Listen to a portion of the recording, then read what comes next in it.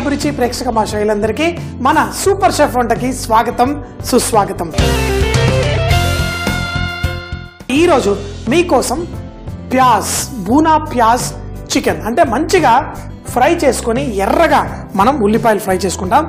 దీంతో మనం chicken curry. అయితే మొగలాయి స్టైల్లో మనం చేసే కూరల్లో మనకి ఒక మంచి సిల్కీ సాస్ రావడం కోసం ఈ ప్యాజ్ని చక్కగా ఉల్లిపాయల్ని మనం బ్రౌన్ చేసి ఈ చికెన్ కర్రీ తయారు చేసుకుంటారు. ఈ ఉల్లిపాయలు అయితే బ్రౌన్ చేసి పెట్టుకొని ఉన్నాయి. ఎందుకంటే మన బిర్యానీకి వాటికి ఉల్లిపాయలు ఎప్పుడు మొఘలై కిచెన్స్లో ఇలా ఫ్రై చేసిన ఉల్లిపాయలు చాలా ఎక్కువగా వాడుతుంటారు. దీంతో పాటు వచ్చిన గ్రేవీ చాలా టేస్టీగా ఉంటుంది. ఉల్లిపాయలు బ్రౌన్ అయిన తర్వాత ఆ ఉల్లిపాయల్లో మంచి స్వీట్ ఫ్లేవర్ వస్తుంది.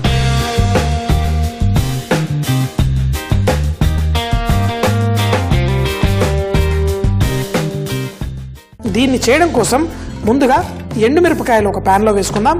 దీంట్లో ధనియాలు వేసుకుందాం. అలాగే మిరియాలు దాల్చిన చెక్క లవంగం ఇవన్నిటిని ఇందులో వేసి వీటిని స్లోగా ప్రతి దాంట్లో ఉన్న సుగంధ ద్రవ్యాలన్నీ ఎప్పుడైతే ఇలా పెనం పైన వేసి వేయించుకుంటామో దీంట్లో నుంచి మంచి టేస్ట్ వస్తుంది. సో కొంచెం జాగ్రత్తగా చూడండి. ఎందుకంటే ఈరోజు ఆ ఉల్లిపాయలు బ్రౌన్ ఉల్లిపాయలతోటి ఆ చికెన్ కర్రీ చేసేటప్పుడు దాంట్లో పెరుగు అలాగే కావాలంటే కొంచెం టమాటో ప్యూరీ కూడా మన టేస్ట్ కోసం వేసుకుందాం. ముందైతే ఈ ఎండుమిరపకాయలు వీటిని తక్కువ మంటలో కొంచెం ఎక్కువసేపు స్లోగా వేయించుకోండి. మంచి సువాసన రావాలి. దాంట్లో ఉన్న తేమ ఈ ఎండుమిరపకాయ సాఫ్ట్గా ఉంది. కానీ ఎప్పుడైతే దీంట్లో కొంచెం సేపు వేడై కుక్ అవుతుందో అది చక్కగా పొడి అవ్వడానికి పనికొస్తుంది. మరి మన మిక్సీ జార్ కూడా రెడీగా ఉంది. దీన్ని మరి కొంచెం సేపు ఇలా వేయించుకుందాం. అన్నీ చక్కగా వేగిపోయినాయి. దీన్ని మనం మిక్సీ జార్లో వేసుకుందాం. పర్ఫెక్ట్. వేసి ముందు దీన్ని ఫైన్గా పొడి చేద్దాం. తర్వాత దీంతో పేస్ట్ ఎట్లా అవుతుందో చూడండి. మనం వేయించుకున్నది మంచి పొడి అయిపోయింది. ఇంకా అయిపోలేదు. ఇందులో బ్రౌన్గా ఫ్రై చేసుకున్న ఉల్లిపాయలు. అలాగే దీంట్లో మనం జీడిపప్పు నా దగ్గర జీడిపప్పు పొడి ఉంది. జీడిపప్పు పొడిని కూడా ఇందులో వేసి దీంట్లో పెరుగు వేసి చక్కగా పేస్ట్ చేసేసుకుందాం. జీడిపప్పు పొడి బదులు జీడిపప్పు వేసుకోండి. నా దగ్గర పొడి రెడీగా ఉందనేసి వేసాను. ఇందులో మనం పెరుగు వేసి మన ఈ చికెన్ కూరకి కావలసిన ఆ మంచి ఆ పేస్ట్ ఇలా తయారవుతుంది. దీన్ని పేస్ట్ చేసి ఎలా ఈ చికెన్ చక్కగా ఆ ప్యాజ్ గునావ్ చికెన్ ఎలా చేయాలో చూడండి. సిల్కీ గ్రేవీ తయారవడానికి మన ఆ బ్రౌన్ ఉల్లిపాయల వల్ల మంచి పేస్ట్ తయారైంది. ఇప్పుడు కొంచెం నూనె వేసి ఇందులో చికెన్ ముక్కలు వేసేసి కుక్ చేసేసుకుందాం. సో చికెన్ ముక్కలు చక్కగా కడిగేసుకోండి. ఉప్పు నీళ్ళల్లో పెట్టుకుంటే చికెన్ ముక్కలు సాఫ్ట్గా టెండర్గా అయిపోతుంది. ఇందులో చికెన్ ముక్కలు తర్వాత అల్లం వెల్లుల్లి ముద్ద దీంట్లో సోఫు పొడి అలాగే కొంచెం జీలకర్ర పొడి వేసేసుకుందాం. వేసి దీంట్లో మనం ఎండుమిరపకాయలు ఇందులో వేసినా నాకు కారం ఇంకా కొంచెం కావాలి కాబట్టి ఇందులో కారం కూడా వేస్తున్నాను. అయితే టమాటా ప్యూరీ అవన్నీ ఇప్పుడే వేయకూడదు. దీంట్లో నీళ్ళు పోసి ఈ చికెన్ని స్లోగా మనం బాయిల్ చేసి తర్వాత దీంట్లో మనం ఈ పేస్ట్ టమాటా పేస్ట్ కానీ వేసుకోవచ్చు. ఈ చికెన్ చక్కగా బాయిల్ అయ్యి సాఫ్ట్గా అయిన తర్వాత ఏం చేయాలో చూద్దాం. అన్నీ వేసేసి మన చికెన్ చూడండి పర్ఫెక్ట్గా ఈ చికెన్ ముక్కలు చక్కగా ఇందులో కుక్ అయిపోయింది. ఇప్పుడు ఇందులో మనం మిగతా మసాలా అంతా వేసుకుందాం. ఇందులో టమాటా ప్యూరీ. నేను కొంచెంగా టమాటా ప్యూరీ వేస్తాను. ఎందుకంటే తెలుగు వాళ్ళకి వాళ్ళకి కూడా మన ఈ టమాటా ప్యూరీ కొంచెం వేసి ఈ చికెన్ కూర రెడీ అయితే బాగుంటుంది. అంతేకాకుండా మనం ముందు చేసి పెట్టుకున్నాం కదా ఉల్లిపాయలు. ఆ ఉల్లిపాయలతో చక్కటి రుచి దీనికి వచ్చేస్తుంది. అంతేకాకుండా దీనికి కొంచెం మనకు కావలసిన ఆ చిక్కదనం ఆ సిల్కీ టెక్స్చర్ కూడా వస్తుంది. చికెన్ సగం కుక్ అయిపోయింది. మిగతా సగం ఇప్పుడు ఈ గ్రేవీలో కుక్ అవుతుంది. అయిన తర్వాత మనకి ఆ మంచి సిల్కీ గ్రేవీ టెక్స్చర్ ఎలా వచ్చేస్తుందో చూడండి. దీన్ని మూత పెట్టేసి స్లోగా కుక్ చేసేసుకుందాం. మొగలాయి వంటలు నిజానికి చెప్పాలంటే చాలా సింపుల్. కానీ దాంట్లో వాళ్ళు వాడే టెక్నిక్ ఇప్పుడు దీనికి ఎంత ఉల్లిపాయ వాడాలి ఈ శాతం ఏదైతే ఉంటుందో అది కరెక్ట్గా వేసుకుంటే మనకి ఆ రుచి వచ్చేస్తుంది. ఇప్పుడు ఉప్పు ఇందులో వేసేసి స్లోగా దీన్ని ఇలా కుక్ చేసేసుకుందాం. దీంట్లో మసాలాలు అన్నీ ఉన్నాయి కానీ మసాలాలు అన్నీ కూడా ఈ సిల్కీ గ్రేవీలో చక్కగా సెట్ అయిపోతుంది. కొంచెం మూత పెట్టేద్దాం. దీన్ని స్లోగా మరో పది నిమిషాలు కుక్ చేసుకుందాం. ఇప్పుడు దీంతో తినడం కోసం ఒక చిన్న రొట్టె చేసుకొని ఫుల్గా ఎంజాయ్ చేద్దాం. గ్రేవీ స్లోగా కుక్ అవుతూ మన చికెన్ మంచి జ్యూసెస్ అంతా తీసుకొని పర్ఫెక్ట్ అవుతుంది. మరి దీంతో పాటు మొగలై మంచి రిచ్ రొట్టె తిందాం. రిచ్ రొట్టె ఏం లేదు సింపుల్గా చపాతీలా చేసుకుందాం. కాకపోతే ఇది చేయడం కోసం మైదా పిండి అలాగే సగం గోధుమ పిండి రెండు కలిపేసుకొని దీంట్లో షాజీరా షాహీ జీరా షాహీ జీరా అంటాం కదా అది దాంతో రొట్టె. అంతేకాదండి మొగలై వాళ్ళ వంటలు రిచ్గా ఉండడం అందులో కుంకుమ పువ్వు వేసి తయారు చేసుకుంటారు. సో మరి కుంకుమ పువ్వుని లైట్గా నీళ్ళల్లో నానబెట్టేసి దీంట్లో చూడండి మొత్తం కుంకుమ పువ్వు కూడా వేసుకున్నాం. ఇది రిచ్ అంటే కుంకుమ పువ్వు వేయగానే రిచ్ అయిపోతుందా? కుంకుమ పువ్వు వేసినప్పుడు దాంట్లో ఆ మంచి కుంకుమ పువ్వు సువాసన మాత్రమే ఆ రొట్టెలోకి వస్తుంది. దీన్ని రిచ్ చేయాలి అంటే నెయ్యి. మనం నెయ్యి కూడా ఒక చెంచాడున్నర వేసేసి దీన్ని రిచ్గా తయారు చేసేసుకుందాం.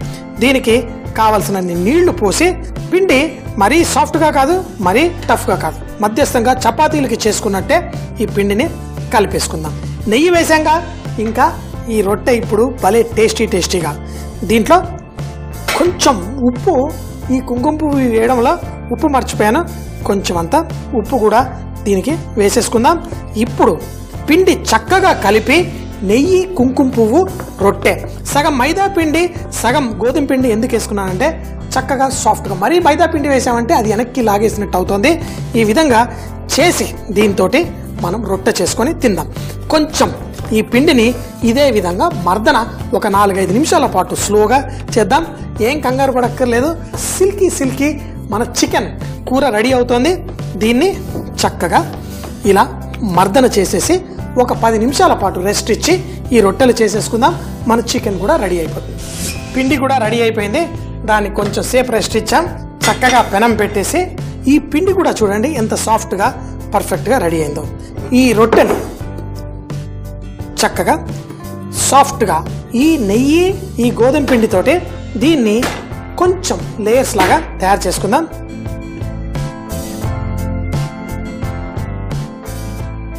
పిండి ఇలా సన్నగా చేసి దీనికి కొంచెం నెయ్యి రుద్ది తర్వాత దీన్ని మనకు కావలసిన పరాటా. ఎన్నో పరాటాలు చేసుకుంటాం కానీ మంచి కుంకుమ పువ్వు అంత సువాసనతో మనం చేసుకునే ఈ పరాటా చాలా చక్కగా అద్భుతంగా ఉంటుంది. ఈ విధంగా మనం చేసి ఇందులో గోధుమ పిండి అన్నీ వేసాం కాబట్టి ఇది ఇలా చిరిగిపోతూ ఉంది. దీన్ని ఈ మాత్రం చేసి ఇప్పుడు నెయ్యి రుద్దుకుందాం. ఈ విధంగా చేసుకున్న ఈ దానికి ఇలా సన్నగా కొంచెం చిరిగిపోతుందని ఏం కంగారు పడక్కర్లేదు. తర్వాత రొట్టె సరిగ్గా వస్తే చాలు. అలాగే మరి కొంచెం పిండి చల్లేసి మన ఈ రొట్టెని స్లోగా ఫోల్డ్ చేసేసుకోండి. ఈ విధంగా ఇలా ఫోల్డ్ చేసి తర్వాత దీన్ని ఇలా చుట్టేసుకోండి. మన ఈ అద్భుతమైన టేస్టీ టేస్టీ పరాటా మనకి రెడీ అయిపోతుంది. కొంచెం పిండి చల్లేసి దీన్ని మనం రుద్దేసుకుందాం. చక్కగా పరాటా లాగా రోల్ చేసేసుకుందాం. మనకి ఎటువంటి పరాటా అయినా రోటీ అయినా రుమాలి అయినా ఏదైనా ఇవన్నీ మన రొట్టె కిందనే వస్తాయి. చక్కగా పరాటా అందులో బోల్డ్ అంతా నెయ్యి అన్నీ వేసి చేసుకున్నాను. రిచ్గా నా మొగలాయి పరాటా తట్టి చూడండి పర్ఫెక్ట్ పిండి లేకుండా తీసి మన పెనం పైన కావాలంటే పైన ఇంక కొంచెం నెయ్యి వేసుకుందాం. పర్ఫెక్ట్గా రెడీ అయిన తర్వాత దీన్ని రెండు పక్కల మంచి రంగు వచ్చేంత వరకు కుక్ చేసుకుందాం. ఈ లోపల మన చికెన్ కర్రీ కూడా రెడీ అయిపోతుంది.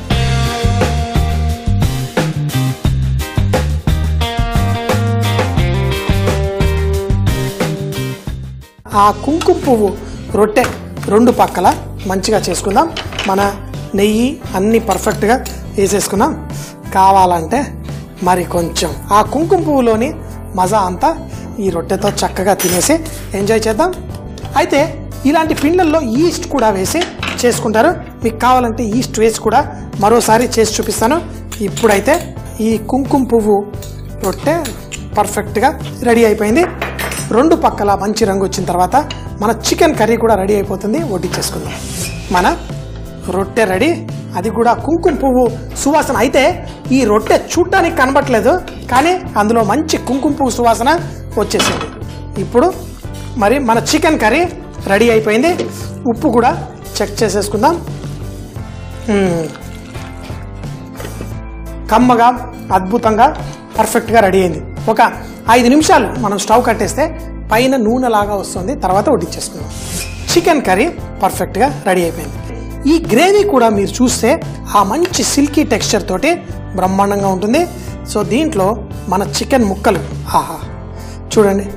మరి మొగలాయి స్టైల్ వంటలు అంటే మాటలు కాదు తడాకా కాదు. ఆ గ్రేవీలో ఉన్న ఆ అద్భుతమైన రుచి మనం మంచి రిచ్ రొట్టెలతోటి ఫుల్గా ఎంజాయ్ చేద్దాం. రొట్టె రెడీ మన చికెన్ కర్రీ రెడీ. ఇందులో మనం ఫ్రై చేసి వాడిన ఉల్లిపాయల వల్ల దీనికి మంచి టేస్ట్ వచ్చేసింది. కుంకుమ పువ్వు చక్కగా వేసి మన రొట్టె కూడా తయారు చేసుకున్నాం. సో మరి టేస్ట్ చేసేద్దామా?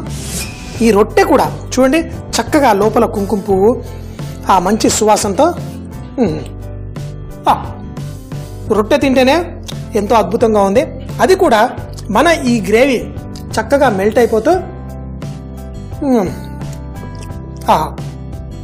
పర్ఫెక్ట్గా ఉంది. చక్కగా చేసుకోండి తినండి. ఎప్పుడు చెప్తా కదా బీ రిచ్ ఇన్ కుకింగ్ ఇలా చేసుకొని తింటే వంటల్లో మీరు శ్రీమంతులు అయిపోతారు. బ్రౌన్ ఉల్లిపాయలతో మొగలాయి స్టైల్ చికెన్ కర్రీ.